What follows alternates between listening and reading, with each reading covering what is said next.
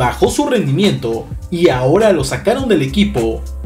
El bajo nivel mostrado por Charlie Rodríguez en las últimas semanas ya está empezando a cobrar factura en el jugador, pues en Cruz Azul, otros elementos como Moisés Vieira o Kevin Castaño empiezan a levantar la mano para quedarse con los puestos titulares del medio campo y Eric Lira se ha vuelto un jugador necesario en la contención por sus tremendos números en los últimos partidos, pero esto no solo quedó a nivel club, pues según se indica en diversos portales, Charlie habría quedado fuera de la reciente convocatoria por bajo rendimiento, al igual que Alexis Vega, quien también está atravesando un bajón importante. Sin duda el perder su lugar en la selección podría hacer reflexionar al jugador celeste y podría motivarlo a recuperar ese nivel que mostró en otros torneos con la máquina.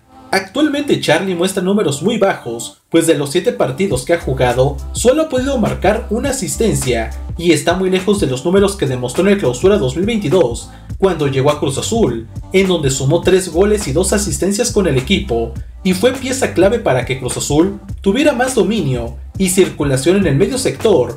Por ahora deberá de seguir trabajando para poder ganarse de nuevo una convocatoria a la selección, pues con el nivel actual su titularidad no es segura ni en México ni en Cruz Azul. Además, no le alcanza para poder llamar la atención de un equipo en Europa. Recuerda dejar tu like y suscribirte al canal.